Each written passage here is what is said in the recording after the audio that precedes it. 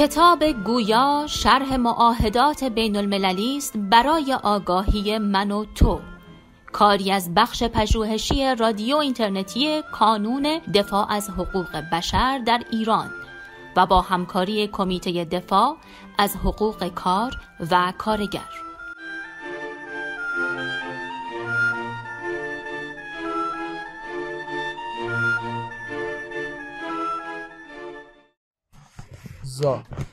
همکاری بین المللی حکومات در جایی که برای کمک برنامه های ملی لازم باشد بایست طالب مساعدت های بین المللی شوند. آنها باید ابتکاراتی را به هدف کمک به کمپاین های بین المللی جهت تنزیل قیمت و بهبود سطح دسترسی به ادویه های ضد مرض تشویق نماید. عین آسیب پذیری حکومات باید تدابیری را اتخاذ نمایند تا گروههایی از کارگران را که در برابر مرض آسیب پذیر می باشند تشخیص و استراتژی هایی را به کار اندازند تا بر عواملی چیره گردند که این کارگران را در معرض خطر قرار می دهند. حکومات همچنان بایست مساعی را به خرج دهند تا اطمینان حاصل گردد که برنامه های وقایوی مناسب برای این گونه کارگران فراهم شده است. بند دو کارفرمایان و سازمان های آنها. الف پالیسی مربوط به محل کار. کارفرمایان بایست با کارگران و نمایندگانشان مشورت نمایند. تا یک پلیسی مناسب را برای محل کارشان طرح و تطبیق نمایند تا از شیوع مرض جلوگیری نموده و تمام کارگران را از تبعیض در رابطه با HIV مسئول سازند. یک لیست موضوعات مربوط برای پلانگذاری و مسائل مربوط به اجرای آن در زمینه سه گنجانیده شده است. ب. قراردادهای ملی، سکتوری و محل کار تشبسات کارفرمایان بایست حین معین نمودن معیار و شرایط استخدام جهت مسئولیت کارگران مبتلا به مرض ایدز قوانین و دستورالعملهای ملی را درباره مسائل مربوط به ایدز رعایت نموده و سعی نمایند تا احکامی را درباره حفاظت و جلوگیری از ایدز شامل قراردادهای ملی، سکتوری و محل کار تشبسات نمایند. جیم آموزش و کارآموزی کارفرمایان و سازمانهایشان در مشورت با کارگران و نمایندگان آنها باید برنامه هایی را در محلات کار خود طرح و حمایت نمایند تا کارگران را در زمینه جلوگیری و مواظبت از مرض ایدز آموزش و پرورش نمایند.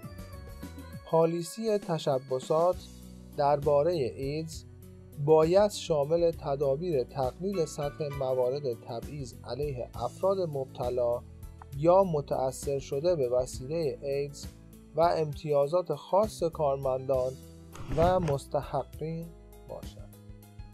دال تأثیر اقتصادی کارفرمایان و کارگران و سازمانهای ایشان باید با هم کار کنند تا استراتژی های مناسبی را طرح نمایند که به طور مقتضی به تأثیر اقتصادی ایدز روی محل کار و سکتور خاص واکنش نشان داده و آن را ارزیابی نمایند.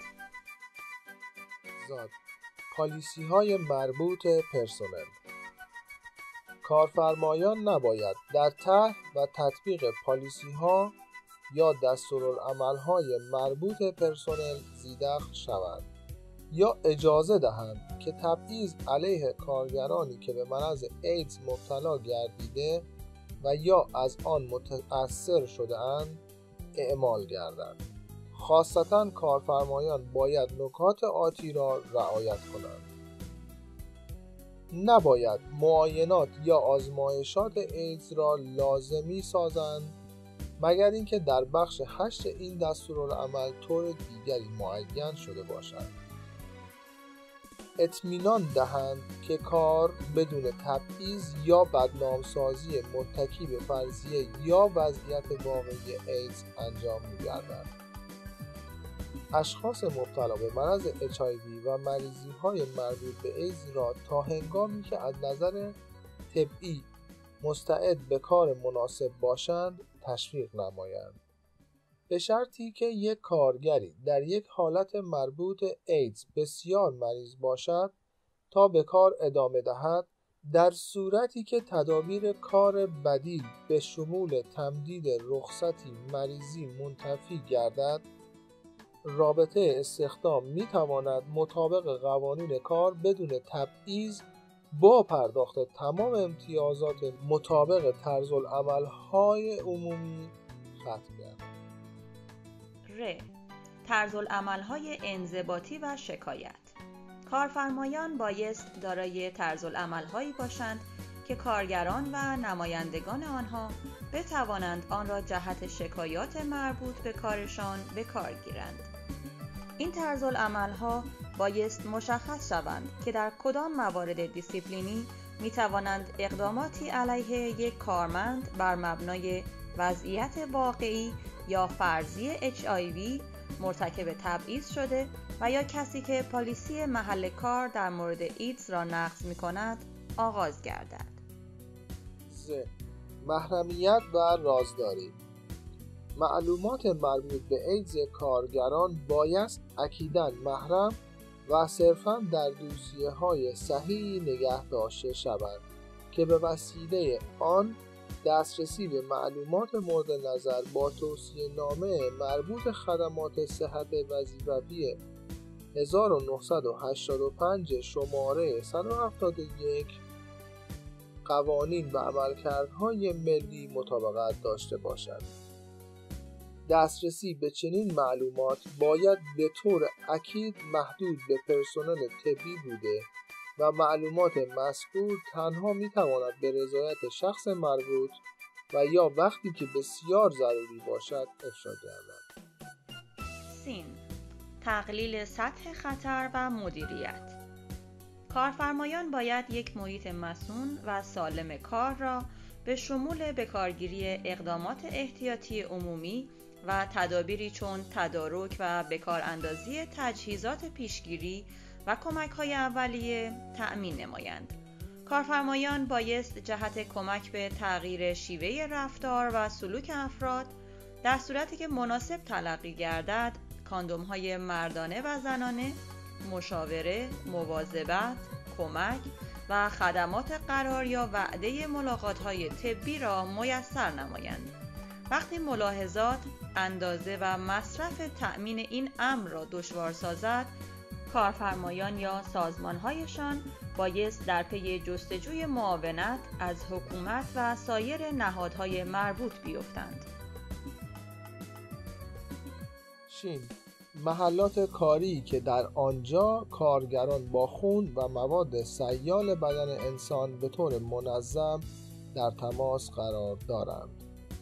در چنین محلات کار لازم است تا کارفرمایان تدابیر اضافی را اتخاذ نمایند تا کارگران در زمینه اقدامات احتیاطی عمومی آگاهی حاصل نموده و در صورت وقوع کدام حادثه مربوط به کار بتوانند تمام اقدامات لازم را به کار گیرند و اینکه تدابیر احتیاطی عمومی همیشه رعایت شوند.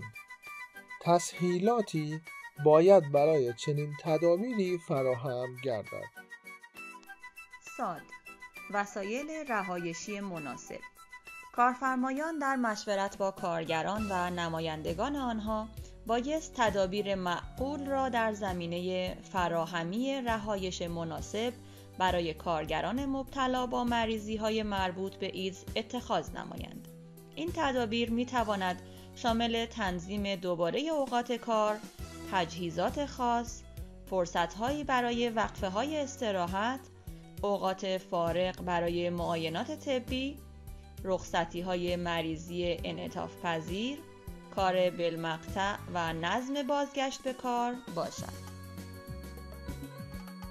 زال تدابیر حمایتی و دفاعی به حیث شهروندان خوب کارفرمایان و سازمانهای آنها در جایی که مناسب پنداشته شود باید سایر کارفرمایان همکارانشان را ترغیب نمایند تا در زمینه جلوگیری و تنظیم بهتر امور مربوطه به اچایوی در محلات کار سهمشان را ایفا نمایند.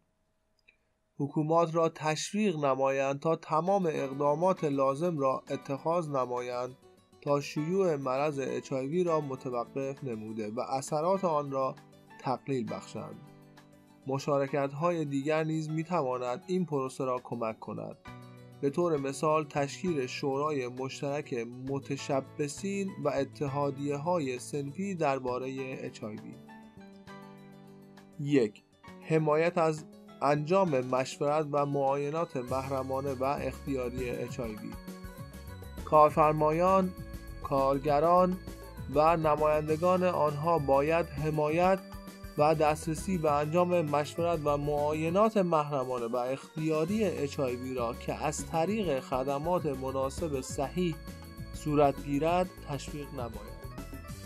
تا کارگران در فعالیت های غیر رسمی که سکتور غیر رسمی نیز نامیده می شود استخدام کنندگان کارگران در فعالیت های غیر رسمی باید برنامه های پیشگیری و مواظبتی برای این کارگران را وارسی و در صورتی که مناسب باشد این برنامه ها را انکشاف دهند. زاد مشارکت بین المللی کارفرمایان و سازمان های آنها باید در صورتی که مناسب پنداشته شود در مساعی بین المللی برای مبارزه علیه HIV سهم بگیرند. بند 3 کارگران و سازمان های آنها الف. پالیسی محل کار. کارگران و نمایندگان آنها باید با استخدام کنندگانشان در مورد طرح یک پالیسی مناسب برای محل کارشان مشورت نماید. تا با اجرای آن از شیوع مرض جلوگیری به عمل آمده و تمام کارگران را از تبعیض مربوط به HIV حفاظت نمایند یک لیست موضوعات برای پلانگذاری پالیسی محل کار و اجرای آن در زمینه سه گنجانده شده است. ب. قراردادهای ملی، سکتوری و محل کار یا تشبسات کارفرمایان بایست حین معین نمودن معیار و شرایط استخدام جهت مسئولیت کارگران مبتلا به مرض ایدز قوانین و دستورالعملهای ملی را درباره مسائل مربوط به ایدز رعایت نموده و سعی نمایند تا احکامی را درباره حفاظت و جلوگیری از ایدز شامل قراردادهای ملی، سکتوری و محل کار یا تشبسات نمایند. معلومات و آموزش کارفرمایان و سازمانهایشان در مشورت با کارگران و نمایندگان آنها باید ساختارهای موجود اتحادیه و سایر ساختارها و تحصیلاتی را به کار برند تا معلوماتی را درباره HIV در محلات کار فراهم نموده مواد تعلیمی و فعالیت هایی را که برای کارگران و خانواده هایشان مناسب باشد انکشاف دهند به شمول معلومات جدید منظم درباره حقوق و امتیازات کارگران فراهم نمایند. چه تأثیر اقتصادی کارفرمایان و کارگران و سازمانهای ایشان باید با هم کار کنند تا استراتژی های مناسبی را طرح نمایند که به طور مقتضا در برابر تأثیر اقتصاد ایدز روی محل کار و سکتور خاصشان واکنش نشان دهند. ه. تدابیر حمایتی و دفاعی به حیث شهروندان خوب کارفرمایان و سازمانهای آنها باید با کارفرمایان، سازمانهایشان و حکومات کار کنند تا سطح آگاهی در مورد جلوگیری و مدیریت امور مربوط به مرض HIV را ارتقا بخشند. خ. پالیسی های مربوط به پرسنل کارگران و سازمان های مربوطشان بایست کارفرمایان را در زمینه طرح و تطبیق چنان پالیسی های پرسنل کمک و آنها را تشویق نمایند که کارگران مبتلا به مرض HIV را در معرض تبعیض قرار ندهند. دال نظارات از شکایات نمایندگان کارگران حق دارند که راجع به مسائل محل کارشان شکایت نموده طرز عملهای انضباطی را اتخاذ و یا تمام موارد تبعیض بر بنیاد HIV را به مقامات مربوط حقوقی گزارش دهند.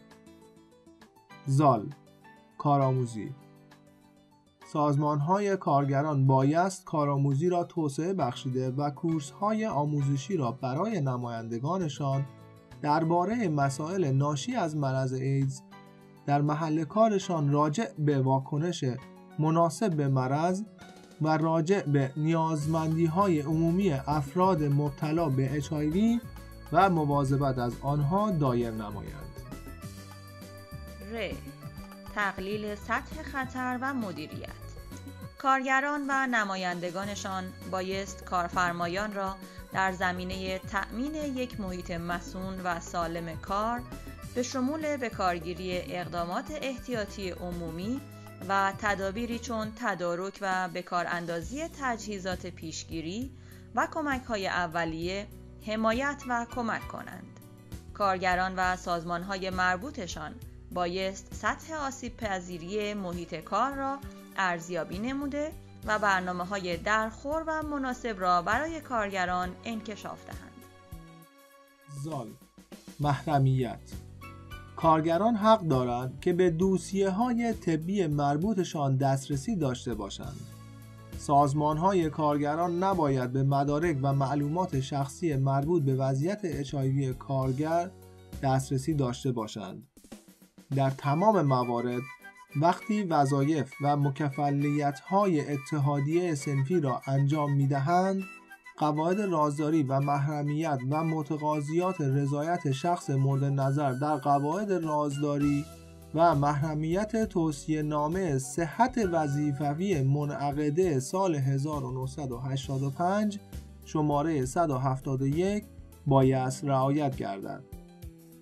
سین کارگران در فعالیت‌های غیررسمی که سکتور غیررسمی نیز نامیده می شود کارگران و سازمانهای مربوطشان فعالیت‌هایشان را در مشارکت با تمام شرکای مربوط دیگر توسعه بخشیده و ابتکارات جدید را در صورتی که مناسب باشد در زمینه هر دو یعنی جلوگیری از شیوع HIV و تقلیل تأثیرات آن کمک نمایند. شین آسیب پذیری کارگران و سازمانهای مربوطشان بایست اطمینان حاصل نمایند تا عواملی که خطر مرض را برای گروه های معین کارگران افزایش می دهد در مشورت با کارفرمایان مورد رسیدگی قرار می گیرد. ساد. حمایت از مشورت و معاینات محرمانه و اختیاری HIV کارگران و سازمانهای مربوطشان باید با کارفرمایان کار نمایند تا دسترسی به مشورت و آزمایشات طبی محرمانه و اختیاری را تشویق و کمک کنند. زاد مشارکت بین المللی سازمان های کارگران باید در طول سرحدات ملی همبستگی را با استفاده از گروه بندی های سکتوری، منطقه‌ای و بین المللی برقرار نمایند تا مسائل مربوط به HIV و جهان کار را برجسته نموده و آن را شامل کمپین های حقوق کارگران نمایند.